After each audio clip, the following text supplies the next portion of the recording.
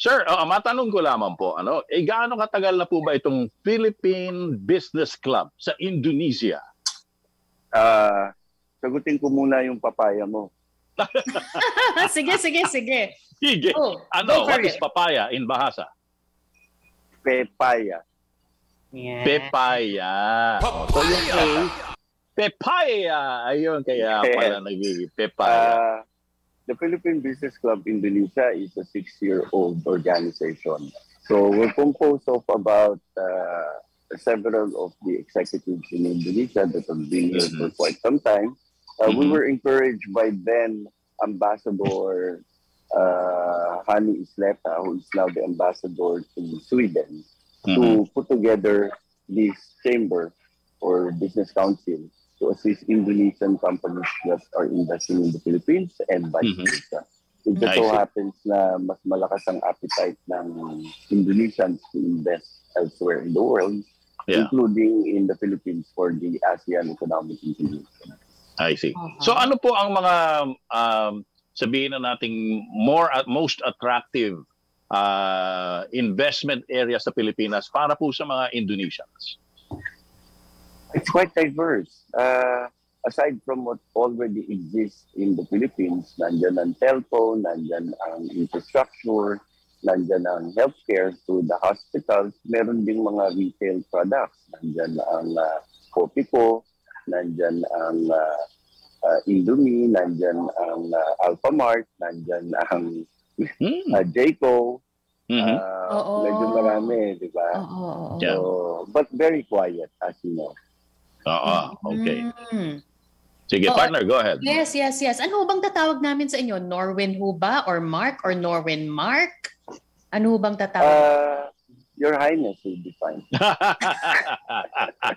Mark will Parang- do. parang Sir sultan, Mark. parang sultan pala itong si Sir Mark eh. Yan, oh. Oo. Uh, Mark will do.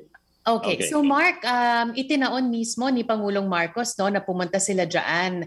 Ah, na dumating siya dyan ng ah, Sunday mismo. Ang sabi niya para daw talagang ah, makasalimuhan niya yung ating mga um, Filipino workers dyan sa kanilang day off no ng Sunday. Ah, kamusta naman ang ah, pakikis, pa, pakikitungo, ang pag-welcome ah, kay Pangulong Marcos ng ating mga kababayan dyan sa Indonesia? Uh, as you can see from the videos uh, you've had, no, uh, fed by your reporter here, it was really a very warm reception. And tayo naman, every time we meet our elected leaders or appointed leaders, we always welcome them. And uh, they represent the institutions that our people have voted for. So we afford the respect, protection, and excitement. Eh, nakita mo naman, eh, si BBM uh, also won in Indonesia among the overseas voters. So, ayan, uh, parang campaign rally tuloy yung visit niya at hindi, hindi town hall gathering, di ba? So, Mm-mm. it's very social. Ang sinabi din niya doon sa kanyang ano no talumpati.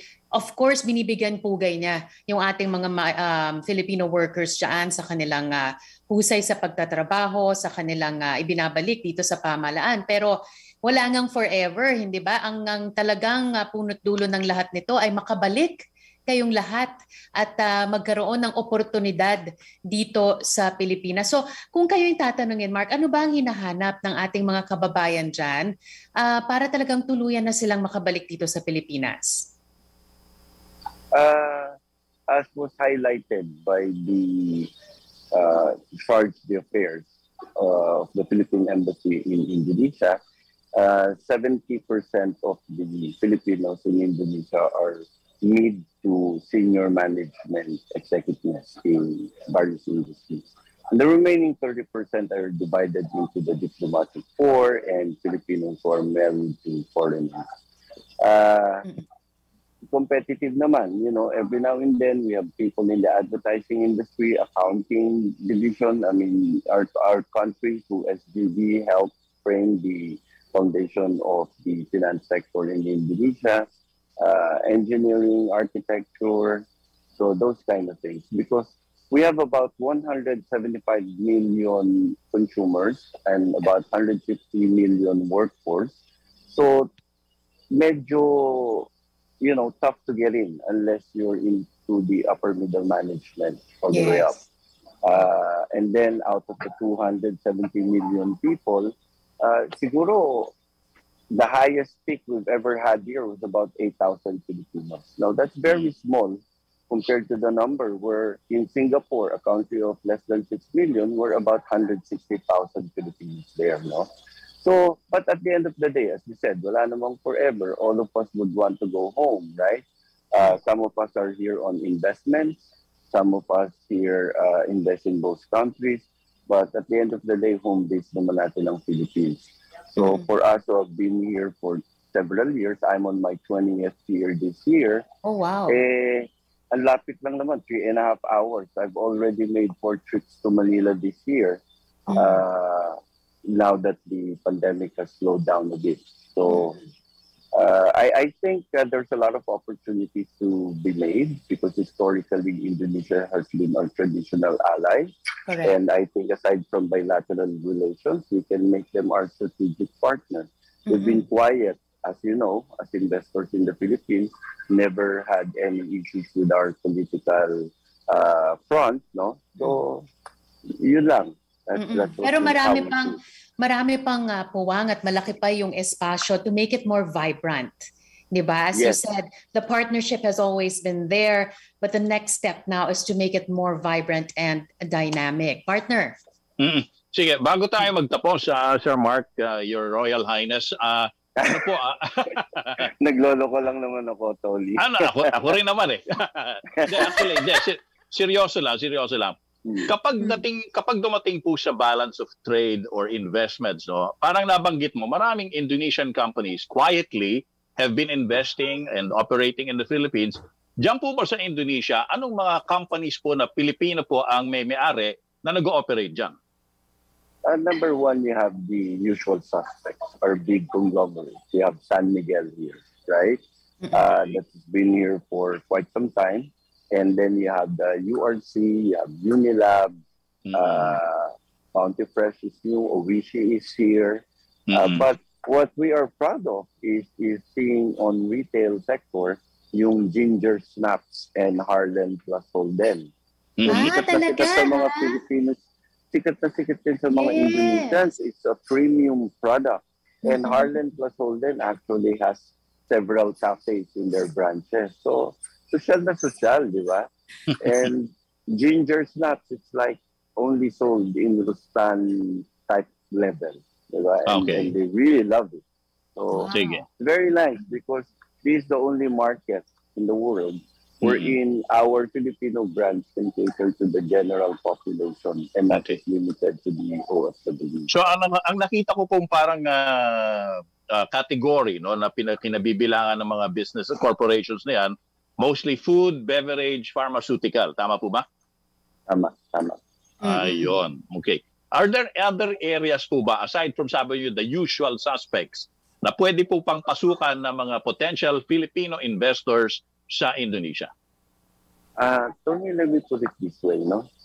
This is the largest market in Southeast Asia. Hmm. 175 million consumers. So, ang gusto kong makita yung mga mid-sized companies natin in the Philippines na mag-participate dito sa market na to. Kasi wala kang katalo-talo eh. Mm. Di ba? Out of the 175 million, makuha mo ng 5 billion eh. Ayos ka na eh.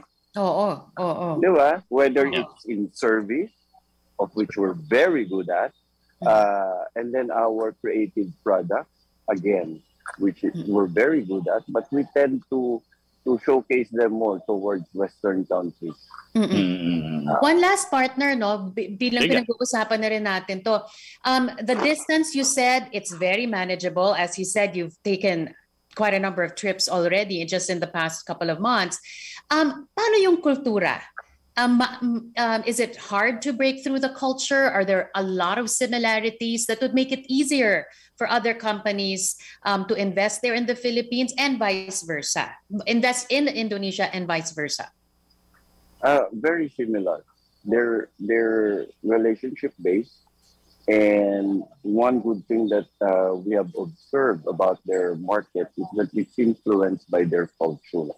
Uh, their culture has been protected uh, despite the colonization of the Dutch. Uh, whereas our culture, even though we stand proud of our culture, have fused with other influences. Yun lang yung pagkakaiba. That's why we're good naman in dealing with Western countries, right? Pero sa kanila, dahil na-retain nila yon, so they're very accommodating, they're very hospitable, they're into collaboration. So very welcome ang Filipinos. Mhm. All right, partner. Alright, Magsha- sige. Magsha-show na ba tayo dyan sa ano, Indonesia? Doon Malamang, ah, pwede tayong ah, You should. Uh, actually, several Filipino shows have been adopted here. There was a time pre-pandemic, uh, Eat Bulaga was localized. ah, talaga. So, marami, yeah, yeah, yeah. And there was a point wherein the, the most popular artist in the entire country of 270 million was Christian Bautista.